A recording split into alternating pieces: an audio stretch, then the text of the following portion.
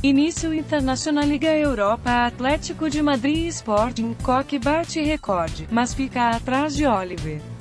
Fotografia, Reuters, Sérgio Pérez médio espanhol inaugurou o marcador no duelo entre a formação espanhola e os Leões, esta quinta-feira, no Vanda Metropolitano.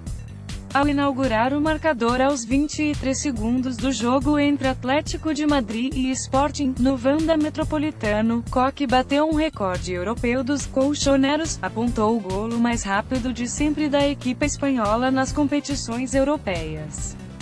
Contudo, o recorde absoluto do Clube de Madrid pertence a uma cara bem conhecida do futebol português, Oliver.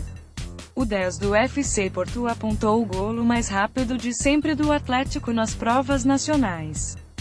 Foi em 2013 14 avos, aos 15 segundos, frente ao Betis, quando ainda vestia de rojo e branco, a façanha do médio do Atleti representa também uma nova marca para o Sporting, nunca os Leões tinham sofrido um golo tão madrugador nas provas europeias.